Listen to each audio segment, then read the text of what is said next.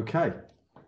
Good morning, everybody, and welcome to the second in our three-part series of K3 Hub webinars, focusing on a range of topics aimed at helping businesses prepare for the post-pandemic world. My name's Simon Bonney, and I'm a Managing Director in Quantuma's Restructuring and Insolvency team, and I will be your chair for this morning's discussion. Last year, as many of you will know, we merged with K3 Capital Group PLC, and since then we've launched the K3 Hub, a member network for professional advisors developed by us and other parts of the K3 Capital Group, including rannd, K3 Tax Advisory, and K3 Debt Advisory.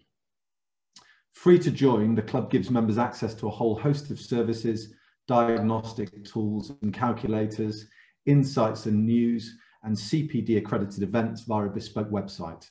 You can find out more at www.k3hub.co.uk. Before we kick off, I would like to ask for your patience if we do experience any technical difficulties at all during the next hour or so. The Q&A function is open on this webinar, so please do submit your questions because apart from anything else, I like to see the panel squirm when there are asked some tough questions from the audience. So without further ado, let's begin. I'm delighted to be joined today by my fellow Quantuma MD, Frank Ofonogoro, a financial advisory expert. From rannd UK Limited, we have Adam Boynton, an R&D tax specialist, Carl Holmes, who is a managing director in K3 Debt Advisory, and Holly Bedford, a managing director in K3 Tax Advisory. In our previous webinar around consolidation, we looked at our electrical wholesaler and retailer, CS, and some of the problems that were, they were likely to have experienced during the last 18 months, and a number of matters that management ought to have been considering in order to manage the business. Can we have the, um, oh, have we got the slide up? Ah, oh, there we go. Um, CS is a is a, a, wholesaler and a retailer with a holding co and separated businesses for the online and physical. The online's done pretty well over the last 18 months, which I think a lot of businesses experience where they've been able to take advantage of tech. The physical, as you'd imagine, not so well. Um, but in our, in, as I say, in our last um, webinar, we were looking more at, at the issues they'd faced. And the focus of this webinar is more about their emergence. It feels to me a little bit like it's the weather. I'm pretty sure two weeks ago, when I was in the doom and gloom of debt, the rain was pouring down. Now the sunshine is out as we emerge and look to optimize the business. So with this webinar, we'll be looking more on the emergence from this period and some of the opportunities that directors will have to generate working capital and ensure they're best placed to optimize their business. So without further ado, over to Frank. Let's start, Frank, with, with directors and management. In order for them to be able to manage the business effectively, what are the main types of information which they should have available to them? Thank you, Simon, and, and good morning to the audience. Um, yeah, so information is key uh, in, in terms like this, and and and in terms of uh, a typical list of key information will range from financial and non-financial, but for now I'll focus more on the financial information. Um, so a starting point has got to be very quickly understanding um, the current financial position of the business. So typically I'd want to understand what does the, uh, the latest opening balance sheet look like from a net asset perspective? Um, what, what level of debt is on the balance sheet and what's the profile of that debt from an aging perspective? Um, equally critically is understanding the short-term cash position. So I'd want to see ideally a 13 week cash flow. Um, and and the, the, relevance of this particular item is it it gives me as an advisor and the management team a sense of how long they've got. So how much of a runway have they got to look to explore the issues facing the, the business and come up with an adequate plan.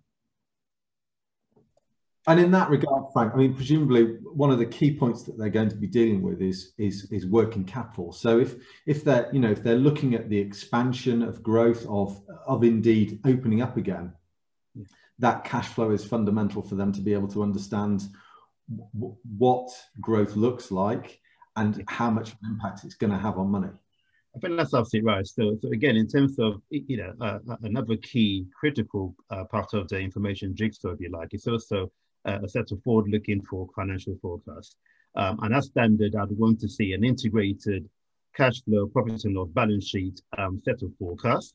uh, for minimum two years time. I mean, I think trying to forecast beyond 12 months, let alone beyond two years, is quite difficult at the current um, uh, moment in time. However, I would encourage management teams to nonetheless aim for a minimum two year forward looking forecast. And to your point, Simon, you know, that should enable them to understand uh, what are their assumptions around growth, expansion, and what's the associated working capital um, um, and funding, optimal funding mix that's required to actually fund that. Um, so, ha- go on, Simon. I was going to say, Frank, within that, how important is the business plan?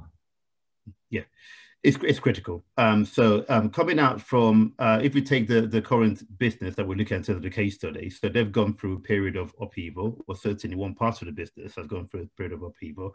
So I think certainly as they come out of that and try to understand what the options open to them, I think going back to the original business plan and understanding how things have shifted from the original plan is absolutely critical. And I think at this stage, it's really about taking stock of the original business plan, understanding what's shifted and what's moved, and then being able to calibrate uh, or recalibrate, sorry, and come up with a set of options that will take him to the to the to the new path going forward. And I suppose there are a number of businesses out there who who have management who are very good at what they do in in normal times, who, you know, who are excellent at, at, sales, marketing, engineering, whatever it is their skill set is, um, but but may feel um, that, that that something as as as kind of seismic as the effect that the pandemic had yeah. means that they're they're out of their depth in terms of in terms of navigating choppy waters. And yeah. one option there, I think, is is is to look at some form of interim manager, some some form of turnaround advisor if necessary, in order to assist through that period. So what what what's the likely impact that someone like that would have on a business where their skill sets aren't necessarily on the on the the the, the business turnaround side? Absolutely, I think that's that's a very good question, Simon. So if we take um, um, the business in question, so you have two two two uh, limbs to this business. You have an online business, which clearly, given where we are in the world is the more relevant business, you could argue, and you have a, a more traditional business model of the physical retail business, which, which is clearly a bit more challenged. Now, certainly as a management team, you know, this range of options you should be thinking about would be, do we do we seek to dispose of the physical business uh, and focus on a more relevant online business in terms of strategic growth, um, you, you know, getting strategic investor on board, etc. You know, or do you, to your point, get a, a, an interim turnaround manager um, to come into the business and, in effect, look to focus on the physical business from a turnaround perspective? Okay. Um, now, the reason why that's critical is uh, you made the point um, pretty clearly is management teams, uh, you know, they'll be used to the day to day um, of the business, business as usual. So in this instance, you'd imagine the management team would want to focus on the online business, given it's what they know, and given that's where the more the more viable prospect for the business lies. Now, if they're minded to focus on attempting to turn around the physical business, perhaps because they envisage there is some values to left there, um, they would need to get external help uh, there simply isn't sufficient bandwidth to focus on business as usual and growth, and also focusing on the turnaround. They're two very distinct disciplines and focuses. Um, so I would strongly advise getting a, an interim turnaround guy um, to come into the business. Now, the benefits of individuals who specialize in that, in that field are they would tend to be specialists by of sector or industry. Uh, but more critically, they tend to be situational experts. So they'll have deep situational experience of working with businesses that are challenged. Um, time is a premium, and they're very adept at very quickly coming up with a plan, coalescing the key stakeholders, and implementing at pace.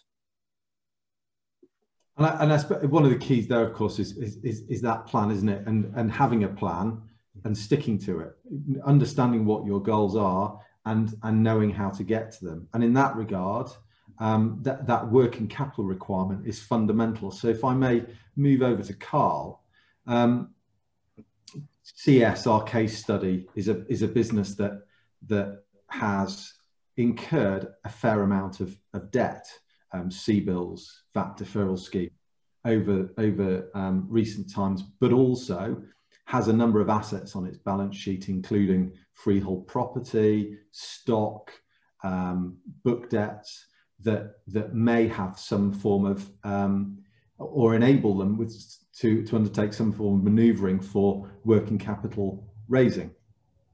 What are the opportunities, Carl, in terms of in terms of the types of assets and the types of uh, debt that they may be able to obtain in order to provide working capital growth? Thank you, Simon. And uh, yes, good morning to everyone. Nice to join you. Um, so you're right. The, the, there's a wholesaler and retailer business that's got some freehold property. So a, there are a number of assets out there. It's already got a CBILS loan, so it's probably given a fixed and floating charge. So we'll we'll, we'll work on the basis that we're, we're looking at a business that's already got a, a fixed and floating charge in place, and, and, what might they be able to do um, to replace that or, or get some more appropriate um, debt finance in in situ. So let's start with the with the, the top of the current assets, the, the invoices. Very often a, a, a general debt against invoices will be less generous than an invoice discount um, facility, which will be very specifically related to the quality of the debts. Now, this is a wholesaler and retailer of electrical goods. So the, even the wholesale, so the retail element won't have any debts. The wholesale element will have debts into electrical retailers. So the quality of those debts is something that can only be known by looking at the, at the ledger in detail. Uh, and each uh, lender would look to do that and, and carry out a, an understand, get, get an understanding of the, the underlying quality of the debtor book.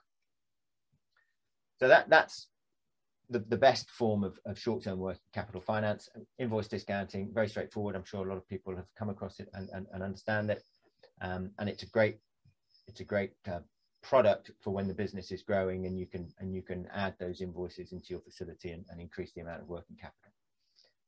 Stock is a is a has historically been a, an increasingly good way of funding working capital, but that has all changed now. You're the insolvency expert, Simon, not me. So I'm, I'm going to leave the questions regarding the new preferential claims to you. But that, that has undoubtedly eroded the the ability to generate funding against stock, not least in a situation like this where there are VAT deferral schemes and and the, the HMRC are being supportive, but in being supportive are allowing companies to run up what will now be preferential creditor claims and will therefore pound for pound deduct what you might get against the stock. And and one of the points I think is important to make at this stage, you know, Frank's touched upon how important it is to have accurate accounting information. That's absolutely right. But accounting information is not the same as a, a loan valuation. So you may have stock on the balance sheet which costs you, for sake of argument, 100 pounds. You can sell it for 200 pounds. You'd say to yourself, well, the, the lending valuation of that might be 150 pounds, 75% loan to value against the selling price. You're not going to get 75% value. A, a, loan will be based on exit valuation, selling the, the stock at auction chances are you'll get less than cost chances are if you've got reasonable HRMRC level of arrears, you take into account other claims such as retention of title, you're probably not going to get anything from the stock. So that, that's the bad news. So where else can we look for funding? There's property. If there's freehold property, then clearly that will need to be valued. Everybody knows that property valuations are uh, something of a, of a mystery, uh, certainly an art rather than a science. And you know that will all depend where they are. If they're retail stores in the center of town if they're you know little little stores in the middle of a, a, rundown area that they probably don't have much value. If they've got a distribution center that's sitting out in the middle of the countryside and and that that property by all accounts my friends in, in industrial property tell me that that property is very hot at the moment. So you, the, the valuation will depend on location size planning all, all those sort of factors and, and i think uh, within that i mean there's um, one of the biggest mistakes we see, certainly with, with businesses, is not them taking on too much debt in one sense, but it's not having sufficient working capital in order to be able to get through a period of growth, of, of coming out of something like this and being able to survive. So, whilst debt can be perceived as a negative in terms of the balance sheet impact, the corresponding part to that is that as long as you're sensible with the, the cash that you get as a result of it, then it provides opportunity. Yeah, absolutely. I mean, you know, any any debt situation is going to require looking at, at the affordability. You know, that it comes back to, to Frank's point about the plan and having a, a, sensible plan where you can see, well, this is what we're going to to generate in order to be able to service the debt debt debt service and you know if you can get a relatively long amortization period against your property that might generate enough cash for you to invest in stock. The stock can turn you can get the cash in and you can restore the business. So it, you know the long term short term argument perhaps doesn't work if you need if you need that money to get the, the, the business back on its feet. Yeah.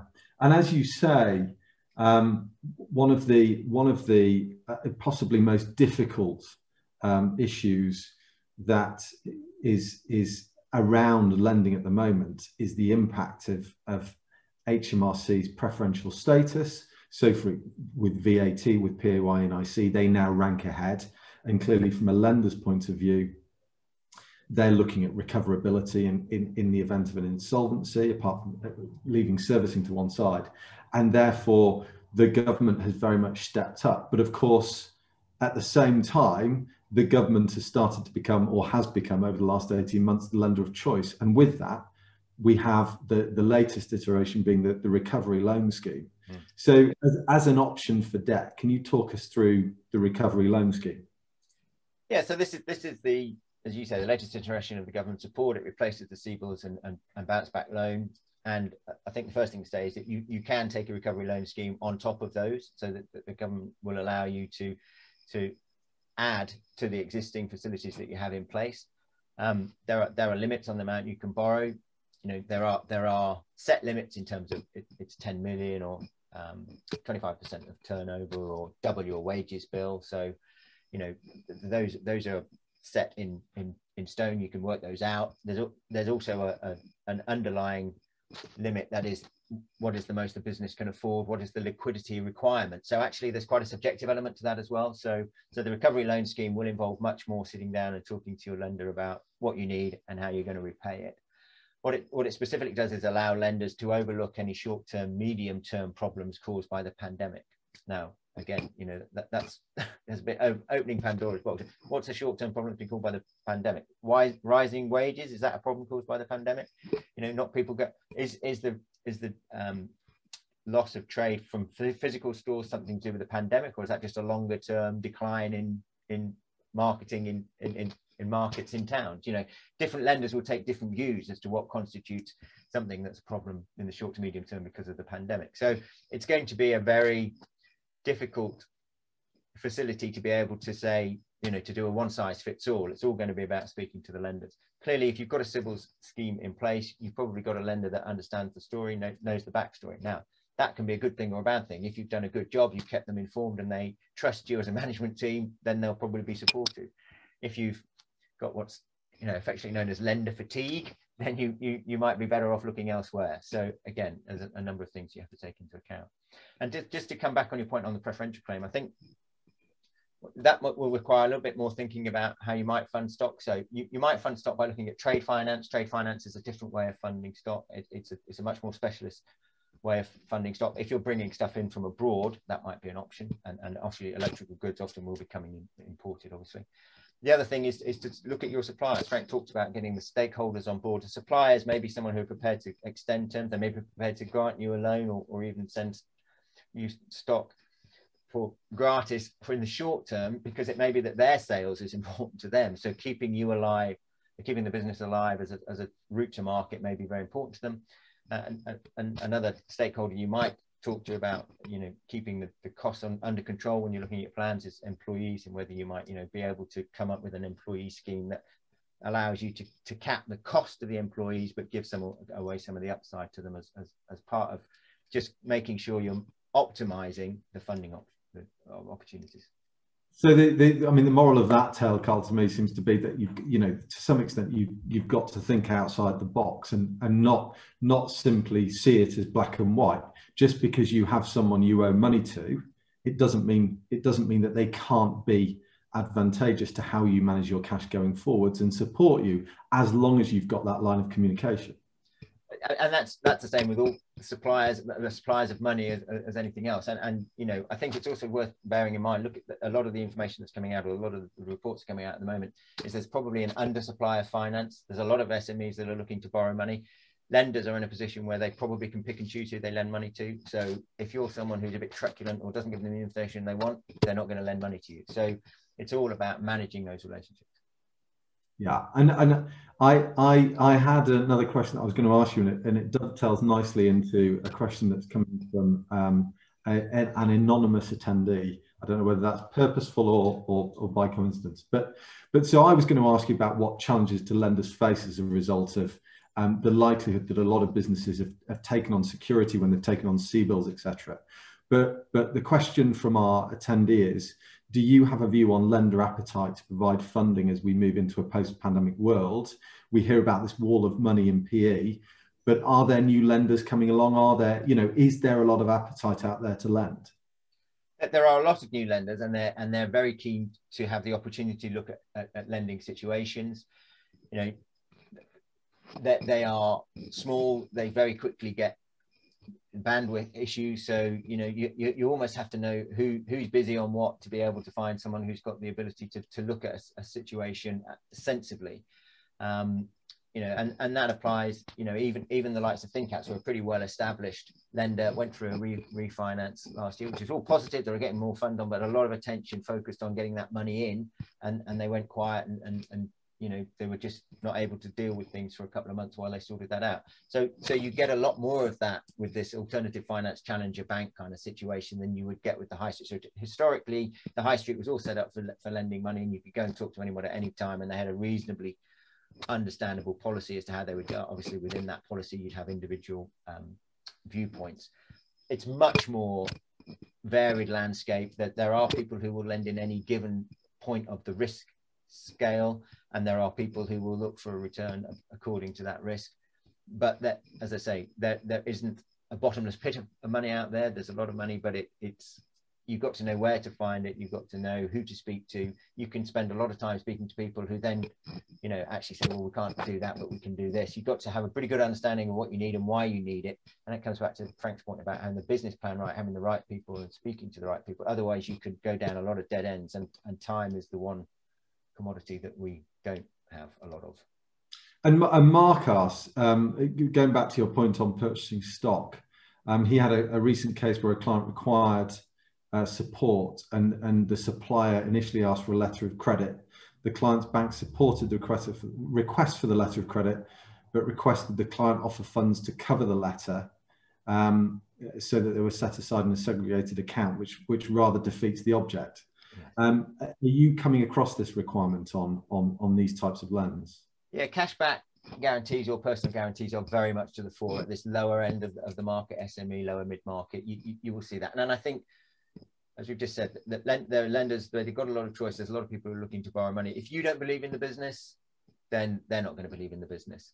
I think cashback is difficult because, as you rightly say, that means you've got to find the cash when you're looking for cash. Personal guarantees are something that obviously people take a, a, a view on, and each person has their own individual approach to that. But at the end of the day, if you're if you're asking the lender to put money into a situation, there's a lot of uncertainty about.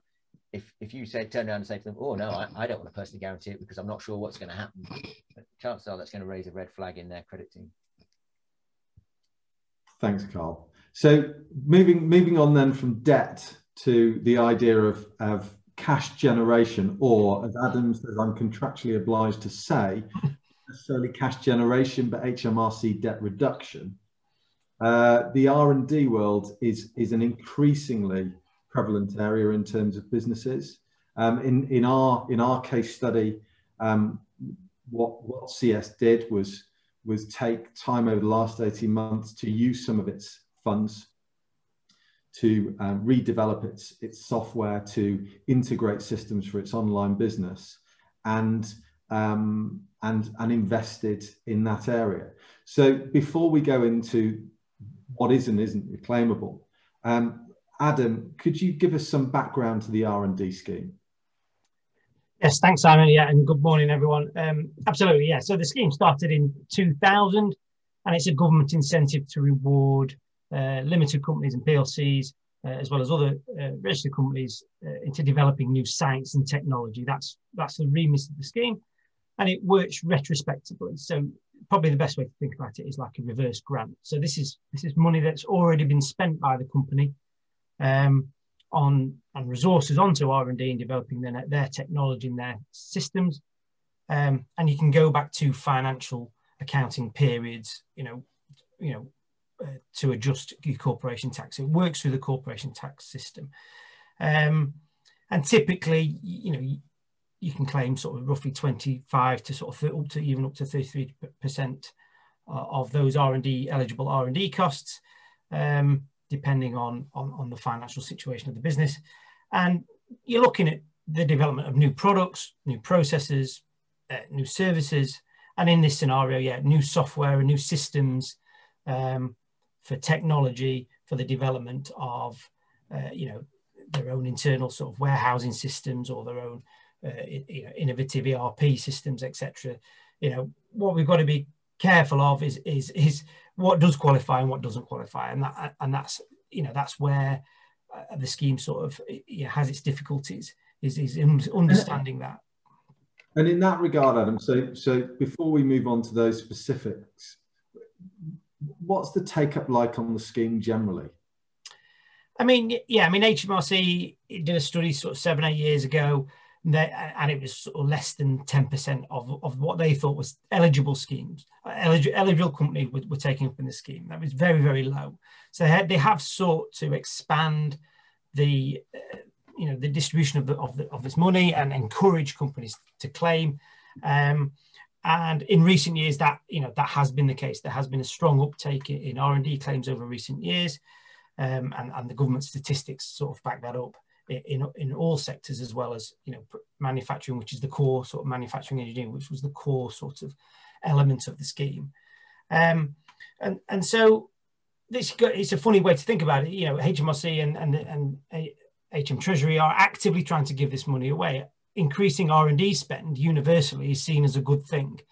And, you know, for every sort of pound in the in the SME area that the government invests in this in the R&D tax credit scheme, it roughly gets two to two and a half, you know, um, times of that back in an extra R&D spend. So you, you get some, you get a bang for your buck, as it were, and you know, keeping yourself ahead of the competition internationally is the whole rationale behind the scheme. And uh, this is one avenue uh, amongst others, you know, with grant funding and other, another innovation funding uh, is one avenue that, that, governments are seeking to do this. And, and you know, bearing in mind take up has increased, but, but, but is certainly not at the levels that you would hope it would be, given that it, for lots of businesses, you know, it's, it's money they're simply leaving on the table. Mm. What are the, what are the common misconceptions? Why don't people um, do it? And what are you know, bearing in mind that, I, as I understand it, you guys at rannd have a hundred percent record on reclaiming money. What what are the the common mistakes that that that people may make in trying to put forward R and D claims? Yeah, mean, absolutely. I mean, the most common one is that they've not heard of the scheme. You know, the, it's you know it is a very very tiny part of the of the overall uh, tax code. Um, it's not widely understood by businesses and the accountancy network in general. But that has changed. You know, that has changed very much in recent years. It is widely more understood and widely more accepted amongst the whole business and accounting sort of network, and that is a good thing. You know that you know, as I said before, the government is seeking to expand its R and D spend throughout UK PLC. So, you know, one of the other sort of things is so well, they, when companies do look into it, they think, well, this is either too good to be true, or I don't qualify. You know, that is quite quite often.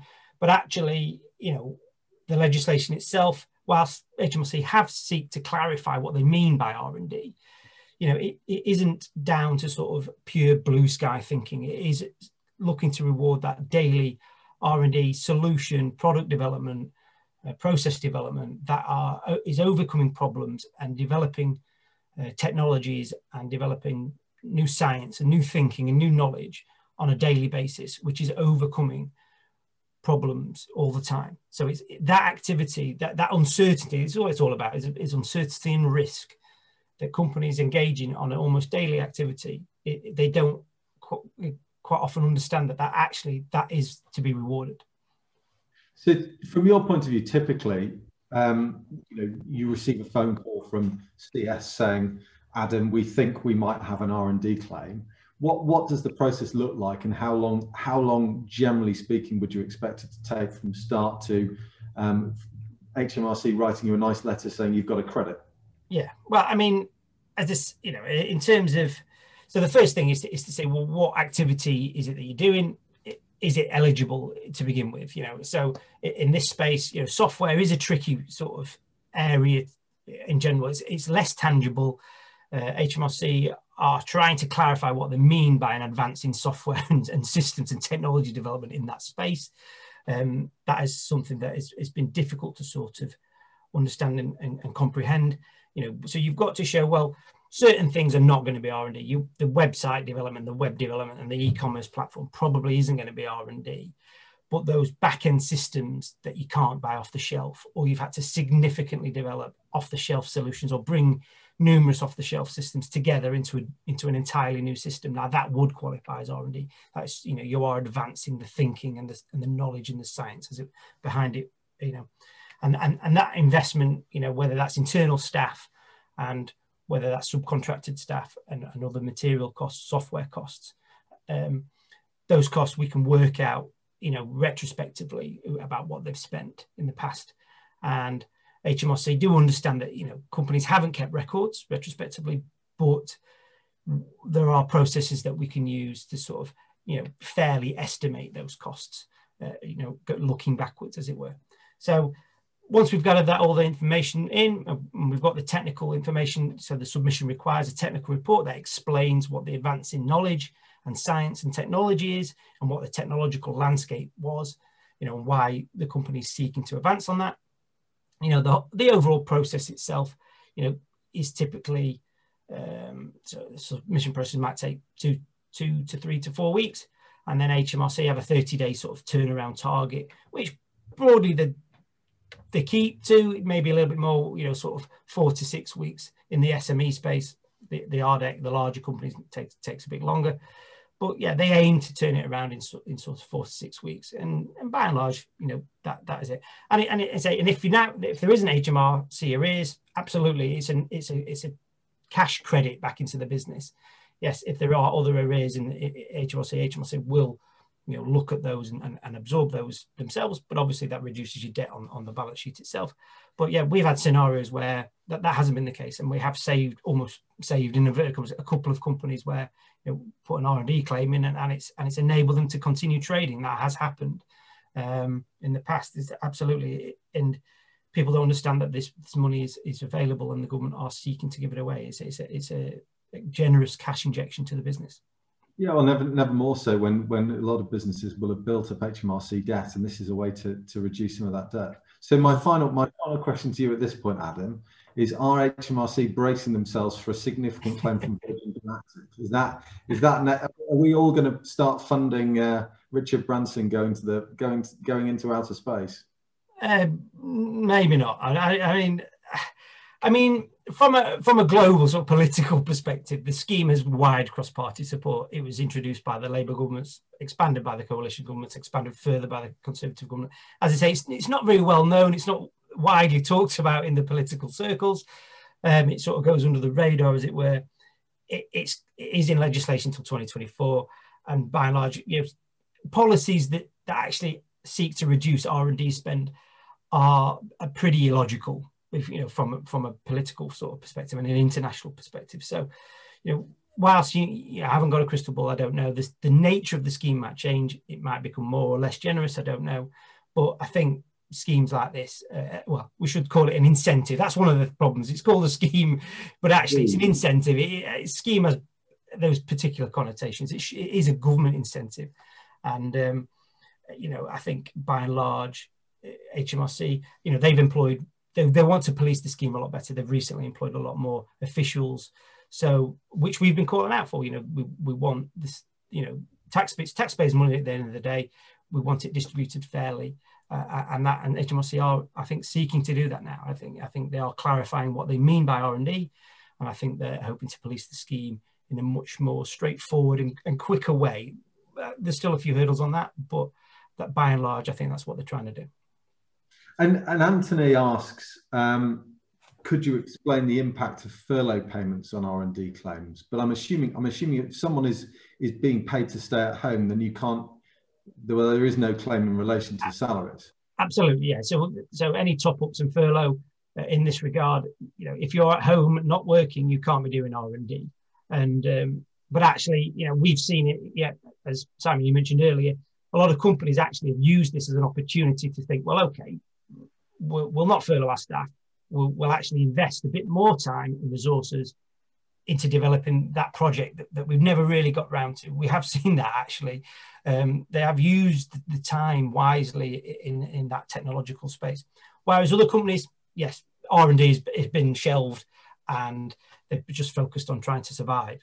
Uh, but but from furlough itself, yeah, if, if you're not at work, you, yeah, so those those costs have to be deducted from from the NER the NER and D. I think it's worth worth saying. Sorry, just to butt in, but it is worth saying that furlough doesn't fall under any of the government. You know that that money isn't doesn't build up and, and need to be repaid. So if no, I. I know, that was yeah. the point of the question. Does it? You know, are you? Yeah, and and as a grant itself, because obviously grant funding can Im impact R and D tax credits. Um, it, it, it's not strictly it's not state aid from that you know from that perspective so you know it's not it's not like an innovation uk grant which can affect you know uh, the the an sme uh, R&D tax credit claim. Um it, so but they do those costs do have to be eliminated yes. Thanks adam. Um so moving from r&d to to the tax advisory side and holly i mean our our case study holly is a is a business which has had its challenges is look still has a you know a, a, bright future as long as it's got the right working capital. But i know you are a strong advocate in making sure in these situations that that the right structures are in place to manage the tax going forwards and also indeed look into the future mm. and you know if it's looking at for example disposal of the the physical side or indeed it's looking at trying to engage with employees more now, now I think you would argue is the time to do so. So if we can explore that a bit further, first of all, from a point of view of that the the physical side, the company that holds freehold property, what what are the types of um, of of areas that that management should be considering from a tax perspective in in in managing those situations? Yeah, absolutely. And just to say, um, sorry if I freeze, I'm having a little bit of trouble with my video, so um, apologies if, if that happens. So we've got this group, um, one side doing pretty well, one side not doing very well, and the side not doing very well is the more traditional business, which is holding real estate assets. So the management have got a couple of things to think about there. First of all, they've got presumably quite valuable real estate assets do they need to protect those from the losses that are bubbling up in that physical company? Do we need to think about moving the property assets away from that trade so that there isn't any chance of losing those valuable assets because you know the company gets into trouble? On a sort of wider uh, viewpoint, do management want to think now about you know these two things aren't really complementary. One might be dragging down the other going forward. Maybe we want to focus more on online maybe get rid of retail.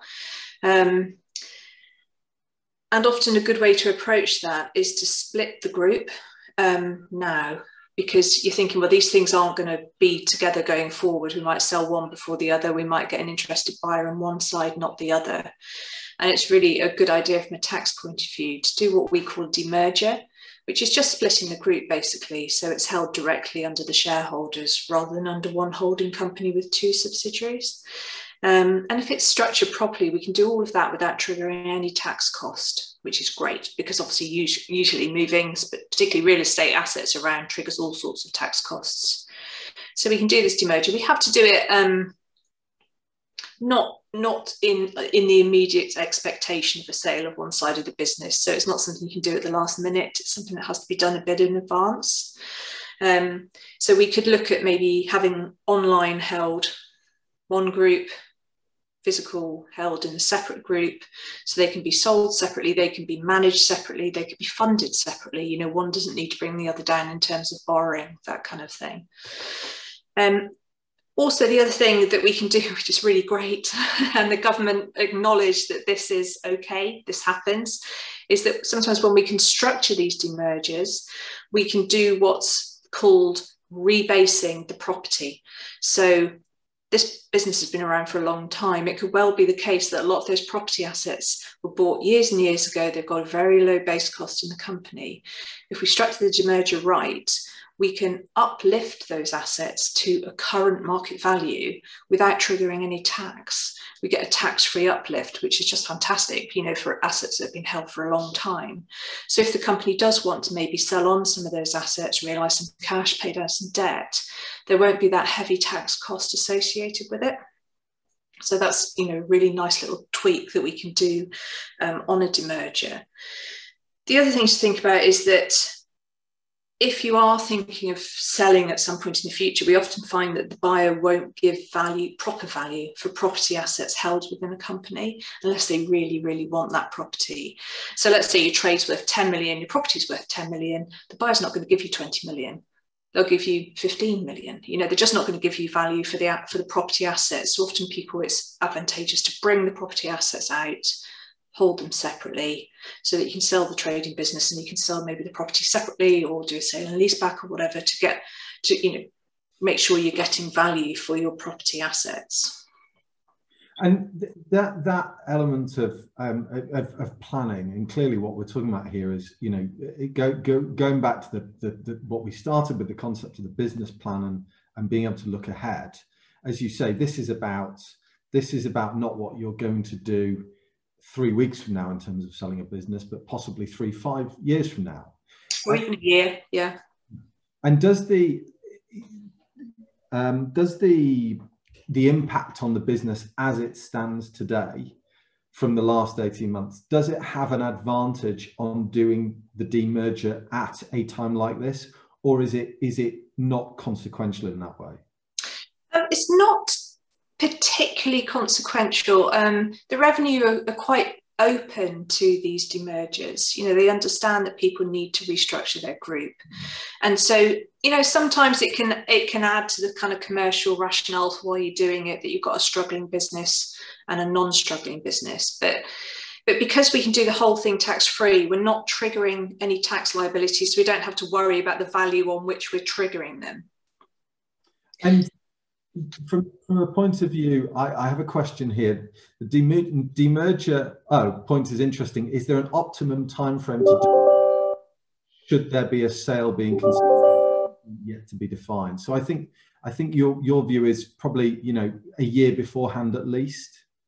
Yeah, I I don't like to try and do one if a sale is active. You know, if we if you've got corporate finance advisors out there looking for a buyer, you know, we can try it, you can try disclosing it to the revenue, but they don't really like doing it as as sort of direct pre-sale planning. It's something really that you want to be doing before you go into an active sale process. Um, i've done demergers where we've been very upfront and said you know we are going to think about selling parts of this you know depending on what buyer comes first. So it's not that you can never sell it. Um, if you use the kind of demerger we use, there are different kinds of demergers. Some of them you get in big trouble if you sell, you know, within a year or two afterwards, but not the kind of demerger we use. Yeah. Understood. And uh, looking at a, a, another aspect of the tax, the tax planning side, it were, Holly, or certainly the the the, the optimization going forwards. One way potentially to to to keep engagement in the business is employees is is is the future management is is is those types of people. And especially at times when when when you may have people who are concerned or or demotivated by the by the impact that the pandemic has had on the business. So the share share schemes in businesses am i right in thinking that the the current balance sheet impact the potential devaluation of shareholdings does have a benefit in looking at those types of schemes at a time like this yeah, absolutely.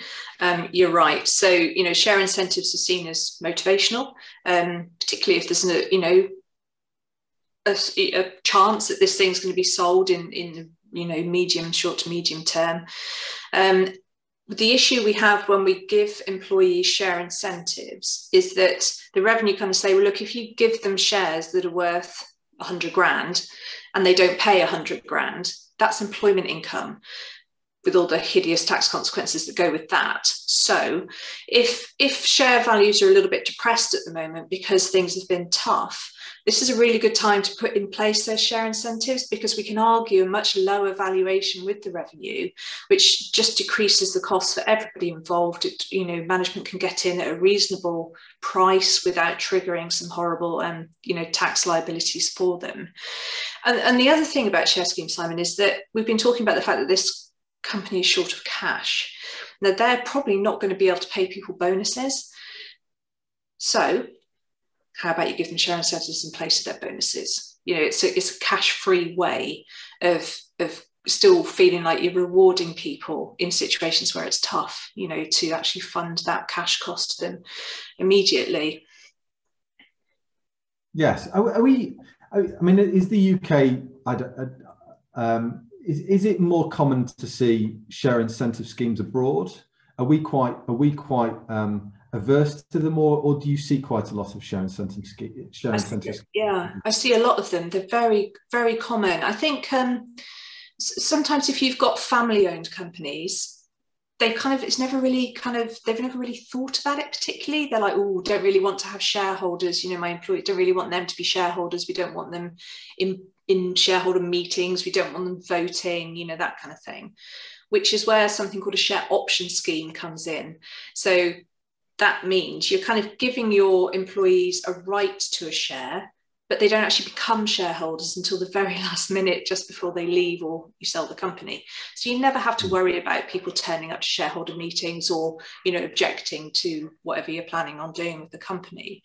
And I think if, if people could think in that in that way more, then then that maybe breaks down some of the resistance to having employee shareholders on, on board. But yeah, we, we are seeing an awful lot of share incentive schemes. I think they are becoming more and more popular. And I got a question here from Jerry, and I'm hoping that you know the abbreviation because I'm not sure I do, or maybe I'm being a bit sick. Seeing a lot of EOTs being used for non-family owned companies. Any comments? Um, EOTs, you know, they are they're great things. You can't, you can't, you can't, you can't just say EOT and move on, Holly. What is an EOT? Yeah, EOT, brilliant. Yeah, employee ownership trust. So um, people say look at the John Lewis model. I think Richer Sounds did it recently. Um, if oh, down where I am, Riverford, who are an organic farm, they've also done it. So the idea is um, the company is sold to a trust, which is is for the benefit of the employees past, future, present. Okay. The, the exciting thing about selling to an EOT is that um, if it's done right, the vendor pays no tax, none at all. You know, so they can sell their company for 10 million pounds and it's tax free. Yeah, that's, that's massively attractive from a tax point of view. It's something that I would say it's not a one size fits all.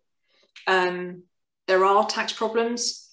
If you don't structure it right, you won't get into that that tax-free, beautiful place. Um, and also you do have to think seriously about, do you have the trustees? Do you have the, the, the management team, all that in place to keep the company running properly while it's under an EOT? So it's, it's not something that should be done on without thinking it through, but in the right scenario, it can be a really great thing. Thanks, Holly. So I think a number of the factors we've touched on here are based around the opportunities, um, how management can be clever about, um, about, about preserving money, raising money, um, getting money back from HMRC, hopefully at times. Um, but of course, it, it, it's predicated on the idea that the company survives, um, which is which is likely to be a big issue for a lot of businesses coming out of the pandemic.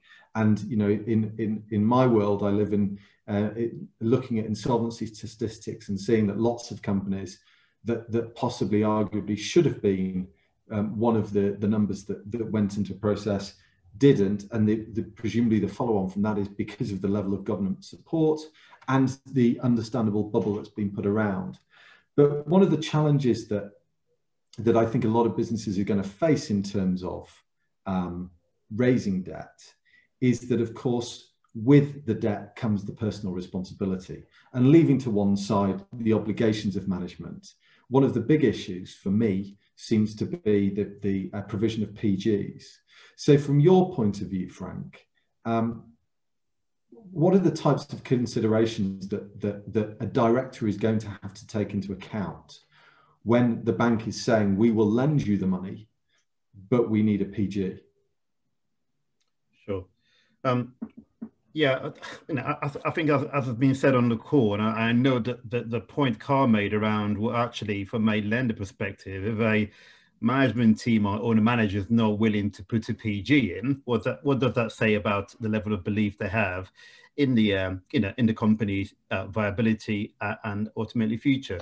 Uh, and to me, that that is a key point in terms of that consideration. So as an owner manager, indeed a shareholder being asked for a PG, I think it really you have to really assess your risk. What is your risk reward appetite? Okay, and actually, from a risk perspective, is it comes back again to my favorite talking point of data, quality of information is absolutely key. So actually, again, going back to the business plan, the revised business plan, do you really believe in that business plan? Okay, what do the forecasts say? The sensitized version of those forecasts in terms of actually the viability of the business in the short to medium term, is growth is growth prospects what's the macro what's the macro data saying to you about the wider industry within which the business is operating? And is this a viable business in a viable sector that has growth potential? So actually if i was in that position i'd be looking at well answering all those questions and then putting a cap on top of it to say what are the multiples that i'm likely to get if this business was to really go to where we hope it's going to go to you then bring that back to actually, well, that's the potential upside. Actually, have you got the wherewithal to actually give a PG? I think actually, you know, I would always urge individuals to act responsibly when giving PGs and actually make sure you've considered the personal aspects and the assets that you have and you're firmly circumstanced before giving that PG ultimately. Um, and so I think that's that's that's an absolutely key consideration for people to bear in mind. Um, and ultimately, as well, is I think sometimes from experience, some individuals will give PGs not re or gambling that the lender ultimately, for reputational purposes, would actually call call in that PG when it comes to the crunch. Um, I think it would be remiss of, of my view anyway for people to adopt that mentality. If you're given a PG, you need to go into it with your eyes open understanding what the downside could be and that potentially you could lose your shirt if it's called in. And I think, I mean, I think you and I, Frank, both both operate in a world where we we assume that most PGs are there as a as an incentive as opposed to a as opposed to a last resort for a lender. Albeit clearly, you know, when the PG's got value, um, it it will it will be called upon if necessary. But Carl, from your from your point of view, um, do lenders see PGs as an important part of the of the package, um, or is is is it only an important part because they want to know that management have bought into what they're saying they're going to do? Uh, yeah. So let me quickly first make the point that under the recovery loan scheme, there's a there's a, a prohibition on taking PGs for any lending below 250, and there's a prohibition across the board against taking PGs secured against your primary residential property. So that's an important point about the RLS. In terms of, of PGs, yeah, the, the, the lenders that operate in that small, medium size, where essentially the value is all about the owner, the shareholders. It's, it's, it's usually you know a family business or it's a business that, that's that's generally very much run by the by the, the, the small team of management. So you know it, it is important that they support the business when it's going through difficulties. So what a lender doesn't want to do is find out that they're the ones who are being left holding the baby and trying to get money back. And the people who've got the business into this situation can go off into the sunset without without any financial obligation. And and financial obligation tends to talk a lot more loudly than moral obligation. That that's not always the case, but across the broad experience of lenders is if people haven't got a PG, then they will provide less value in the exit or turnaround stage of a business than if they have got a PG. Carl, you've just you've you've you've thrown me into a whole new world of issues there, because I'm now I'm now imagining the case where where someone owns their house has has taken that loan and then takes their two hundred thousand cash at bank and pays off their mortgage just before the uh, just before the, the, the PG gets called in and there's a prohibition on their primary residence. So it's, it no doubt leads to some, some interesting situations. But I mean, from, I suppose one of the big aspects of all of this, lenders to one side, albeit they are a lender now, is HMRC. Uh, what are the views of the, the panel on, on HMRC's appetite going forwards? But both in terms of, from Adam's point of view, how they tighten up their regulations to try and avoid paying out more money, to Holly and, you know, will they try and curtail, um, curtail um, tax opportunities to, to, to minimize outflow? And, you know, for the likes of you, Frank, um, are they going to be more aggressive at collecting in money? Anybody, anybody can speak at this point, by the way. Well, if, if I if I just go first quick and then and then leave the floor to the to the tax guys. So I think from in terms of um, appetite, I mean, yes, I think HMRC politically and internally will always have the mindset that they want to be more aggressive in terms of going after people. The issue that I believe they face is bandwidth. And have they got enough resource, given all the plethora of new schemes and considerations they have been interested with? Have they got the bandwidth to really do that? Okay, so shall I jump in there? Um, on that point, actually, we we understand that the revenue are moving a lot of people onto um, the um, the furlough scheme, the job uh, job retention scheme um, payments to put some focus on getting back money that people shouldn't have claimed under that under that scheme. You know, they're moving people off other stuff and onto that, and also keeping people that they were going to make redundant. They've kept them on longer in order to staff up that side of things. I think there's no question that the revenue are going to be quite motivated to get back in money where it shouldn't have gone. Um, and also potentially with the budgets coming up, you know, with the whole the whole signalling about financial responsibility and all that, and we've got so badly in debt that they are probably going to be closing down some benefits, um, some reliefs, potentially also, of course, putting tax rates up. You know, we've been expecting that for a while, and I, it's going to happen. It's just a question of, you know, which year um, they decide to do it. Adam, now now Holly's brought us down. Can you just bring us back up? Sorry. Yeah, give it on a positive note. Yeah, from from an R and D perspective, actually, ironically, as as I mentioned before, HMRC and the Treasury are actively trying to give this money away. They do want to police the scheme better. They want they want it to be distributed fairly, and they're actively trying to do that. But typically, you know, if they do want to raise an inquiry, that's prior to they've paid the money out. So you know, they they're not trying to claw it back. Yes, there is a 12 month window which HMRC can do, can run an inquiry after paying the the the tax credit out. But actually, you know, tip, in most cases, they they actually do the inquiry beforehand. Now that that they may change that situation where they pay the money, so it's pay first, check later. And um, we've sort of seen there, has been a move to that. But actually, in the R and D space, yeah, go, going back to the original point, it, it is fundamental part of the government's overall strategy is to increase R and D spend uh, overall in the in, in the UK.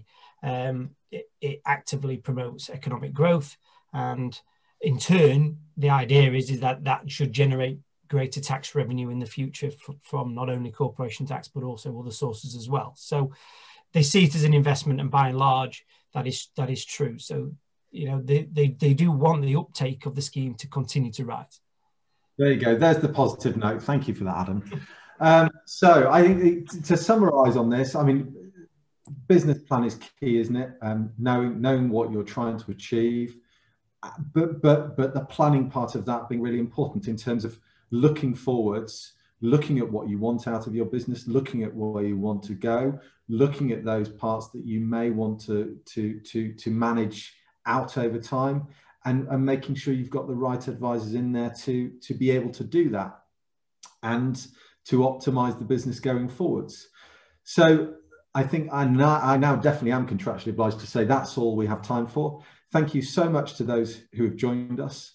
Please take some time to register for our next webinar in the series discussing how to maximize your business as we come out of the pandemic. Uh, we'll be looking at business diversification distressed m&a structuring deals and tax strategies to support transactions.